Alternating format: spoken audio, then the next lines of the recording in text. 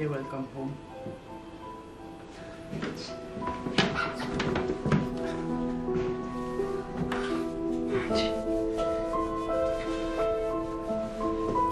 Salamat sa Benji. Salamat sa inyong lahat. Akala ko hindi na ako makakauwi. Akala ko hindi na. Hindi ko na kayo makikita.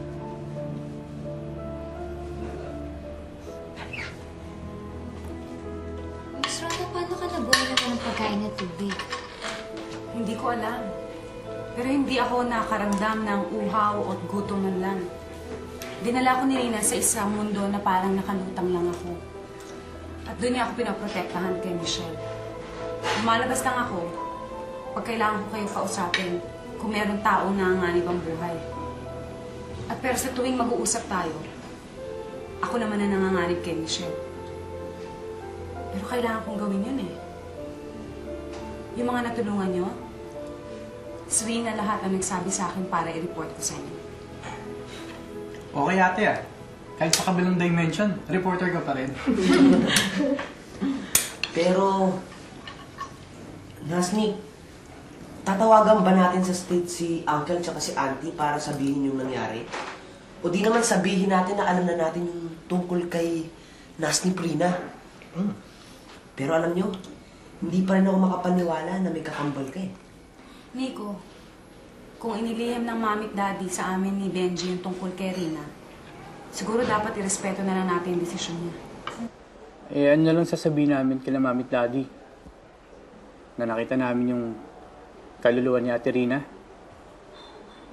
Namuntik na mamatay si Ate Rona dahil sa mga masamang espiritu. Siguro, dapat hindi na natin sila guluhin sa States eh. Diba? At saka okay na naman tayo, diba? Ako na, ako na, at dalan.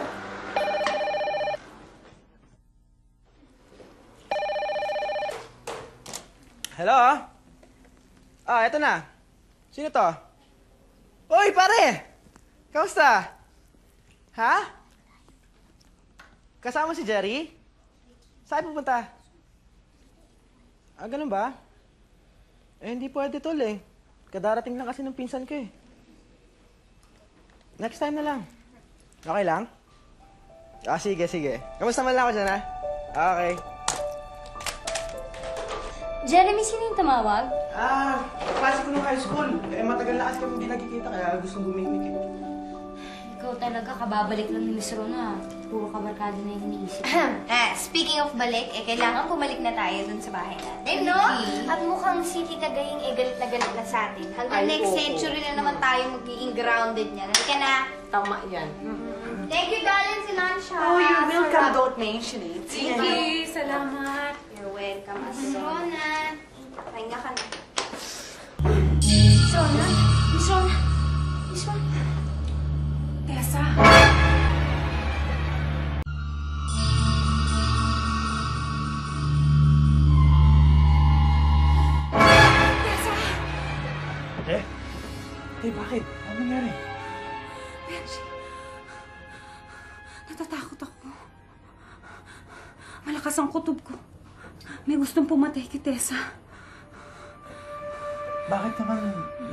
Tessa?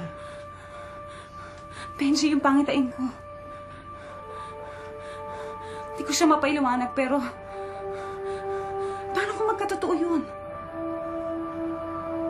Alam kong namatay ako dun sa lumang bahay. Pero pagkatapos ng lahat na nangyari sa akin, parang may... Parang may nagbago. May nagbago sa pakiramdam ko. Nag-iba siya. Hindi ko ma-explain. Parang ESP? Hindi ko alam pero, Benji, natatakot ako. Hindi ko, hindi ko gusto yung nakikita ko. Si Tessa. Ayoko na, Benji. Ayoko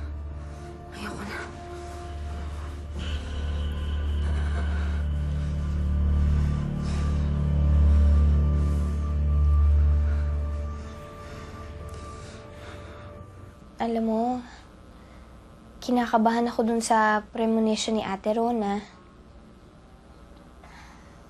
Ako rin, Ricky. Hindi ko alam kung ano yung magiging reaksyon ko. Kung, kung matatakot ba ako, kung, kung maniniwala ba ako. Ricky, anong gagawin ko? Ricky.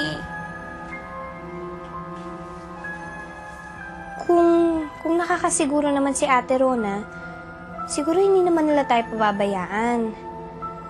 Andiyan naman si Benji at si Jeremy para bantayan tayo eh. Oo nga, pero sino? Tsaka bakit naman niya ako gustong patayin? Wala naman akong ginagawang masama sa kahit sinong tao eh. Enjoy. Ate Tessa, pwede pakibalatan ako ng mangga? Joy, ano ka ba? Huwag kang humahawak ng kutsilyo. Paano kung masugatan ka? Asa na bang mami mo? Naliligo.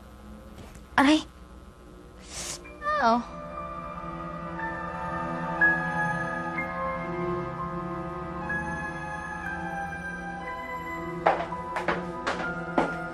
Joy!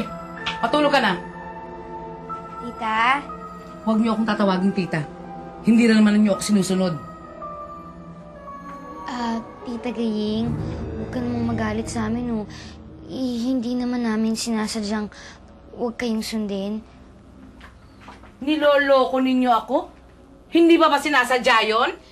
Tita Gaying, kayo rin naman siguro kung may kaibigan kayo na nasa panganib, tutulungan nyo rin, di ba? Nangangatwiran ka pa. Siguro naman, kung kayo ang nasa panganib din, hindi niyo ako masisisi na mag-alala. Pero aanin ko pa ang pag-alala sa inyo, hindi rin naman kayo mapagsabihan. Tita Gaying. Ay nako, wala nang tita-tita. Sasabihin ko sa daddy mo na maghanap na siya na magbabantay sa inyo. Ang titigas ng ulo ninyo. Bahala kayo sa buhay ninyo. Aalis kami ni Joy sa bahay na ito. At hindi ko nahihintayin pa na dumating ang araw na matulad siya sa inyo. Mami, umalis. Iwan si Ate Ricky at Ate Tessa. Hay nako, anong ayaw, ayaw, ayaw. Halika na, matulog na. Ma! Titigas ng mga ulo ninyo.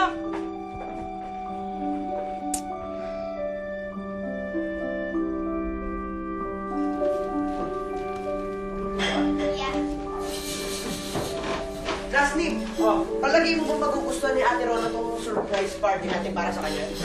Alam mo, Nico, kailangan natin gawin to eh. Para mawala sa isipan ni Ate Ron yung mga trauma nangyari sa kanya.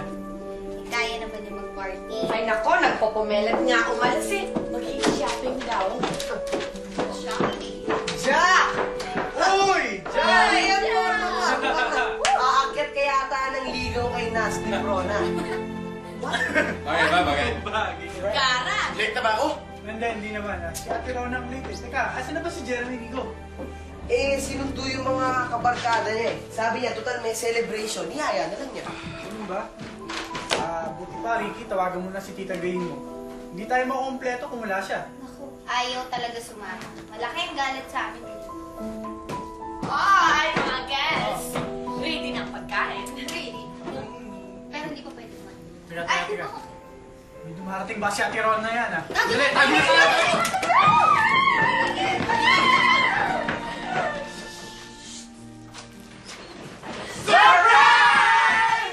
Surprise! Kasama ko barkada ko!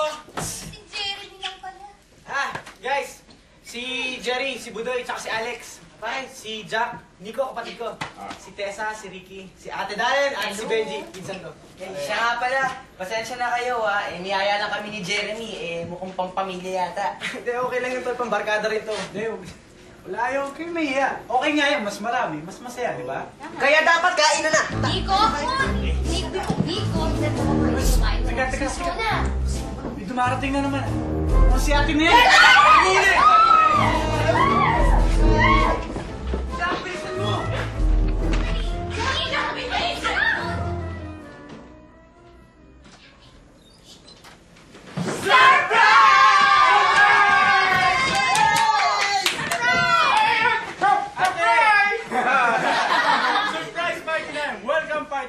Ate Rona. Ayun talaga, nag-abala pa kayo. Pero thank you, thank you, Ah, thank you. Ate Rona, si Alex, si Budoy, tsaka si Jerry mga barkada ko. Hi, kumpleto. Excuse me. Excuse me. Ah,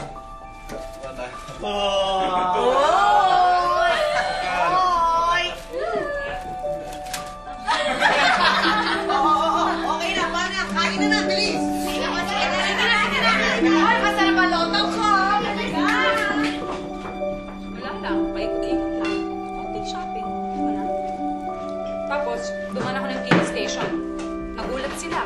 Akala nila kinasal ako, kaya ako nawala.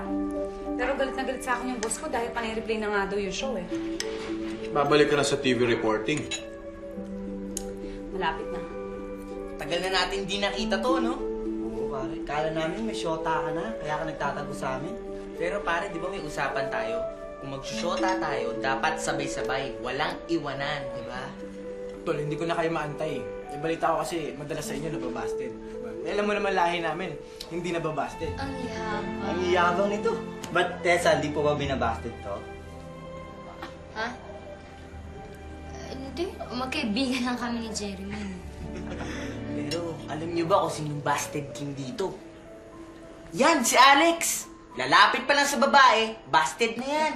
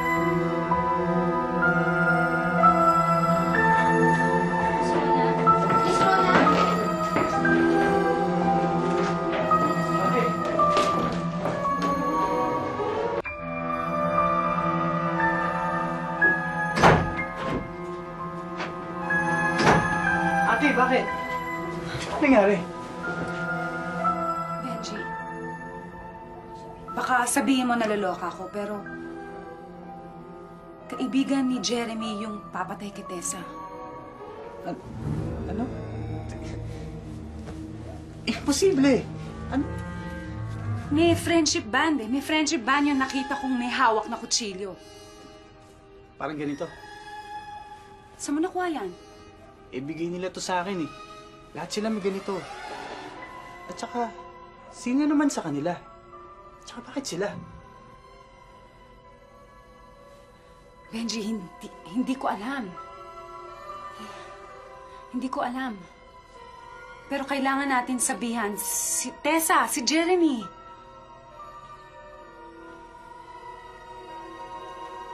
Hindi ka ba naniniwala sa akin? Ate, naniniwala ako sa'yo. Teka, paano naman natin sasabihin to kay Jeremy? Ate naman, sabihin natin na isa sa barkada ni Jeremy, mamamatay tao? Tsaka si Tessa, ano, tatakotin ba natin siya? Benji, hindi ako nananakot. Pero hindi natin pwedeng pabayaan si Tessa.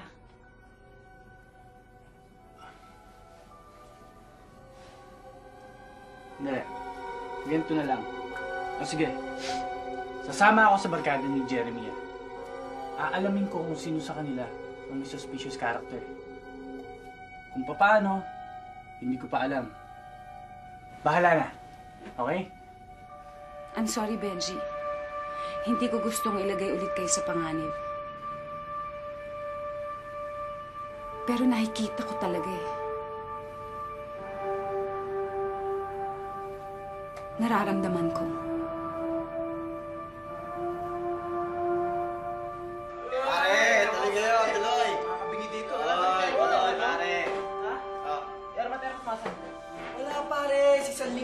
Pa babalik. Sa probinsya. Kaya pwedeng pwede tayong gumimik dito. Ano ha? Oy Benji, salamat nga pala sa pag-atid mo sa amin ha. Okay lang. Palpak kasi ito sa sakyan ni Alex eh, walang silbi. Diyos ko. Paano yung sasakyan mo doon, Lex? Kailan mo babalikan? Ah, bukas ko na lang babalikan kasama nung mekaniko namin. Kasi madalas talagang mm, masiraan yung kotse namin eh. Ah, ako. Pare, alam mo anong dapat may isa bukas? Yung truck ng basura! Tapon mo na yung kotse mo! Kaya hindi na nga nagpakita yung dati mong nililigawan eh. Natetano na doon sa kotse mo. Wala! Wala talaga, pare. Pero... Anong problema nun, pare? Anong problema nun? Binanggit mo pa kasi nililigawan niya dati. Kita mo nang dead na dead siya doon. Pare, totoo naman eh. Yung spirit yung chick, hindi na nga nagpakita kay Alex, di ba? Hindi nagpakita na wala. Hanggang ngayon, di pa nagpapakita sa kanya si Rosalie. Ay, ha? Paano nawala? Naglaho na lang parang wala. Pinagaanap na nga ng magulang. Hanggang ngayon, di pa nakikita, pare. Teka, pare. Missing. Missing. Missing. Wala na yun. Ano gusto niyo Alam mo, naman? may nawawala rito yun. Ano gusto niyo naman, pare?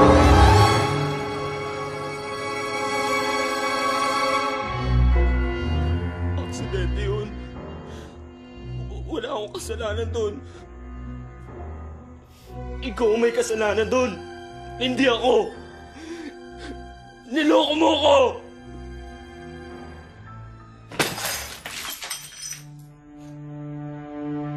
Wala akong kwenta, babae. Pinaasa mo lang ako. Kung hindi mo ako mahal, dapat nang mamatay ka.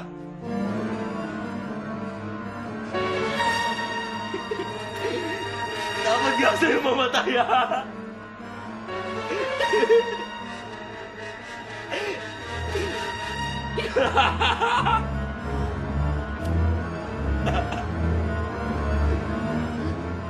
dapat nga sa'yo mamatay.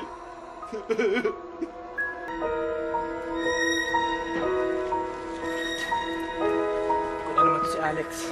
Discover kasi talaga to si Jerry. Jeremy, may sasabihin sana ako sa'yo. Ah, yung tungkol kay, ano, Ate Rona, yung pangitain niya kay Tessa. May palagay kasi akong si Alex yun. Ano?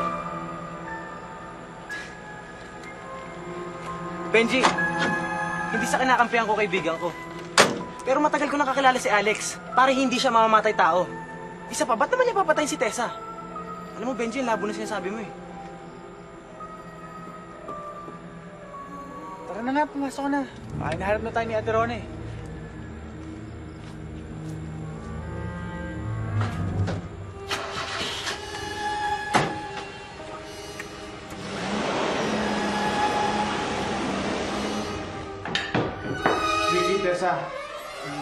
Ko na kayo. Ang sabi sa akin ni Benji, nagbilin daw si Rona na dapat bantayan ko kayong dalawa, lalo ka na Tessa. Eh, hindi na ba bababa si Ate Rona? Nanghihina siya eh. Mukhang tuwing nagkakaroon siya ng pangitain, bigla siyang nanghihina. Natatakot na ako, Jack. Alam niyo, mabuti pa, hintayin na natin bumalik si Hiyako tsaka si Nasnip. Tsaka na tayo pumunta sa bahay mo, Ricky. Naku, wag na. Baka lalong magalit sa amin si Tita Gaying.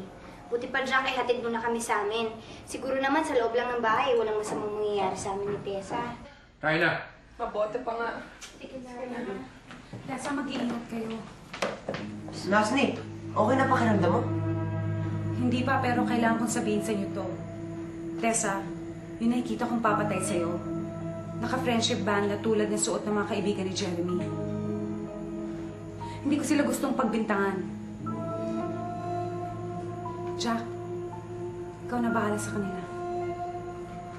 Ayun na.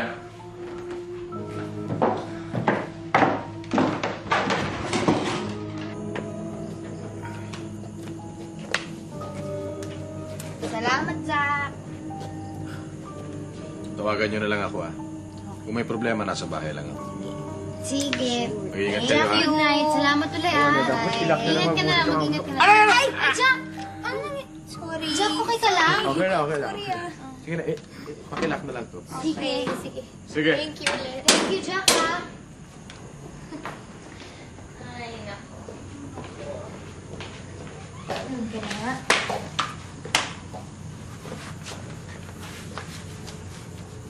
Uy, ano? Tessa, Oh, ano? Tessa, nawawala yung susi ng bahay eh. problema ba yun, Ricky? Di gigisingin ko si Tita Gay. Oy! Ano? Lalo mababad trip sa atin yun, no? Kung baka na kina Benji yun. Mabalikan ko na lang. Sige, dito ka lang, ha? Ah, ano, ano? Ricky, teka lang. Parang naninibago. Parang hindi yata ikaw yan. Huwag mo sabihin sa akin, hindi ka natatakot. Natatakot ako, syempre. Pero mas nakakatakot naman yata kung isasama kita doon. Eh, ikaw yata yung hinahabol ng killer dun sa premonition ni Ate Rona, no? Sige, di bale. Kayanin ko na lang to. Sige. Diyan ka lang, ha? Ricky. Safe ka dyan, eh. Ingat, ah.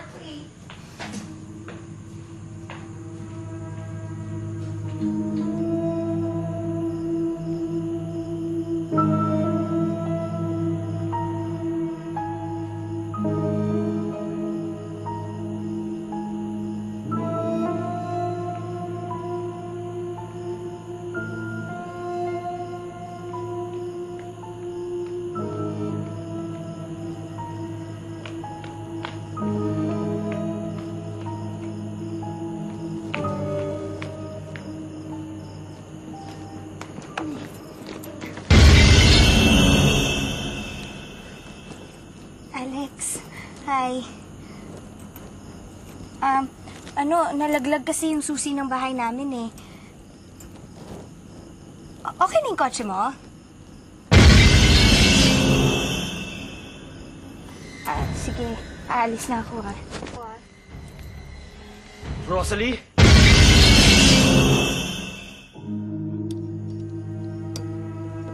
Alex,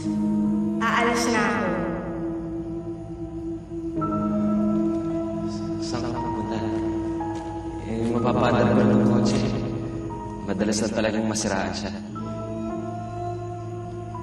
Alex, it's not the car. It's you.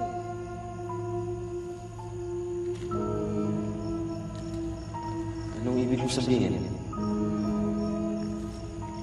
Alex, I'm sorry. Pero wala. Wala talaga akong nararamdaman para sa'yo. Pinagbigyan lang kita ngayon dahil naaawa ako sa'yo. Dahil ang tiyaga-tiyaga mo sa akin. Pero wala talaga akong nararamdaman sa'yo eh. Kaya tigilan mo na yung pangliligaw mo sa akin. Hindi kita gusto. Rosalie? Give me a chance. What chance? Alex, six months mo na ako nililigawan. Obvious na obvious naman na hindi kita gusto. This is it, Alex. Ayoko, ayoko na. Dami ko ng oras na binuho sa'yo.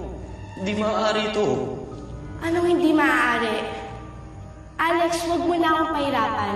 At lalong-lalo na wag mo na pahirapan ang sarili mo. Hindi ka makakapunta sa akin. Walang ibang makikinabang sa'yo.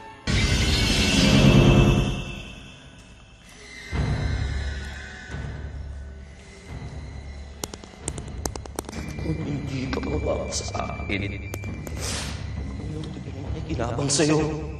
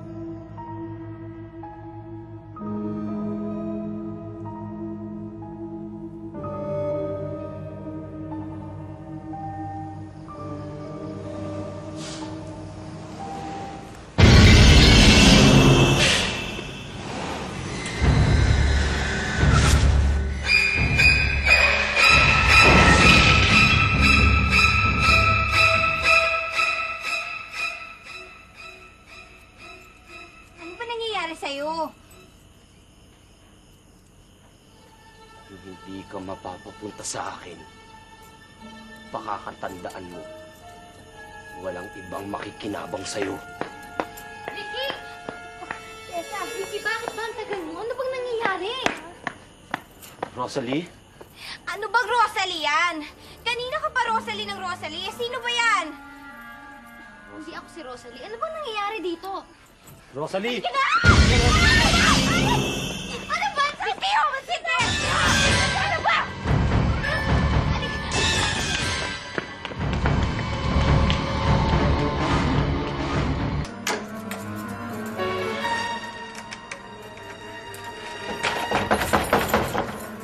Dali, Teka!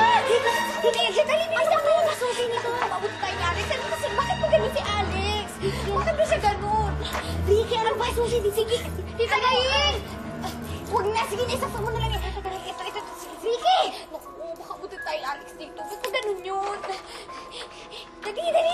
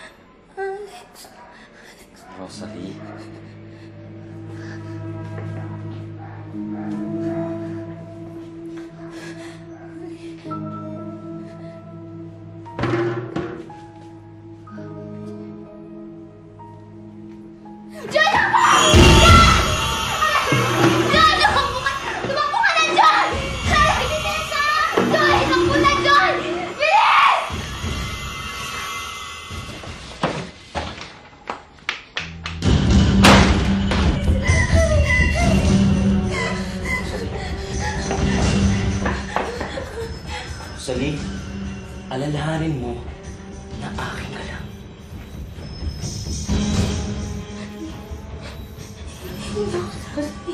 Hindi ako si Rosalie. Hindi ako... Niloloko mo ako. Niloloko mo. Niloko mo ako. Hindi ako si Alex. Gusto mo akong patayin?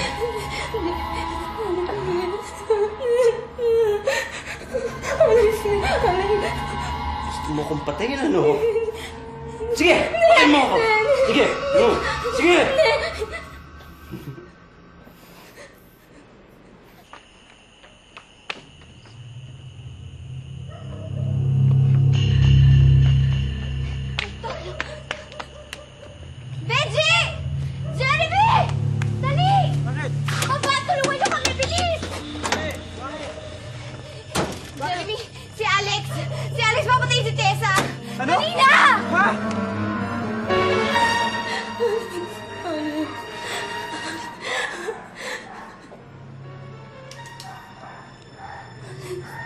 Rosalie, walang ibang makikinabang sa'yo. Sa akin ka lang. Kung hindi rin ako, buti pa. Patayin na rin kita.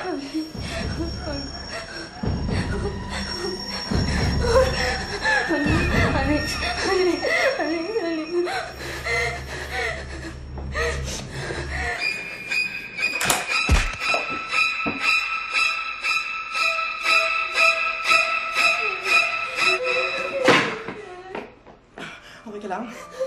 Nasaktan ka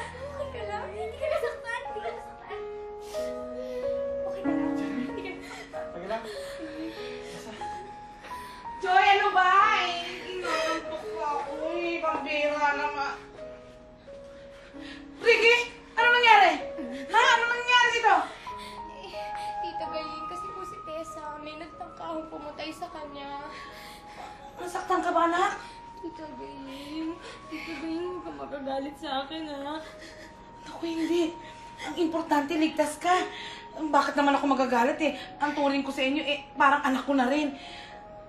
Pero teka, eh, paano nangyari yan dito? Ha? Paano nagkaroon ng killer dito sa bahay ko? Ha? Nasaan yung killer na yan? Nasaan?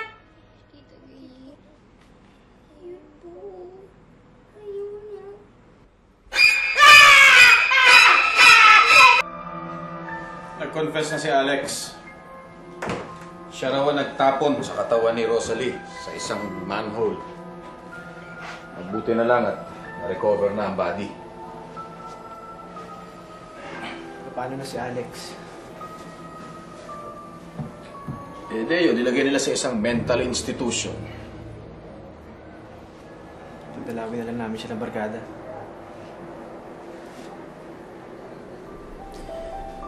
Ako nag-imbita kay Alex dito eh. Hindi ko siya dinala rito, hindi sana nangyari lahat ng to. Pero sa akin, kaibigan ko siya.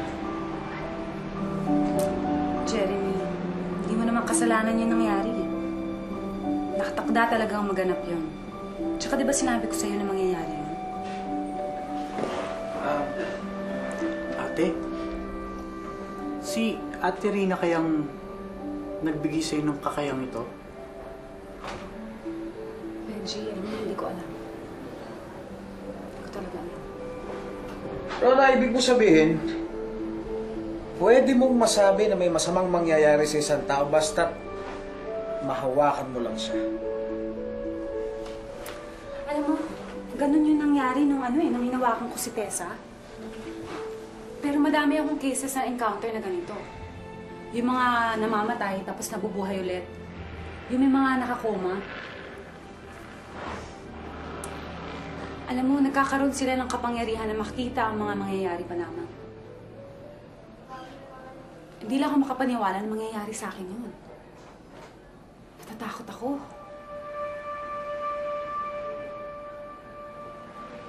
Pero talagang ganun eh. Eh paano kung meron na naman ako makita?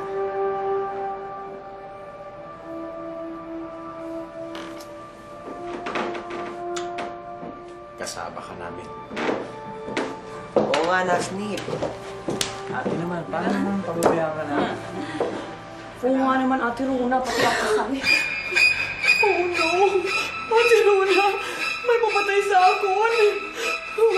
May papatay sa akon, Ate Rona! Hindi!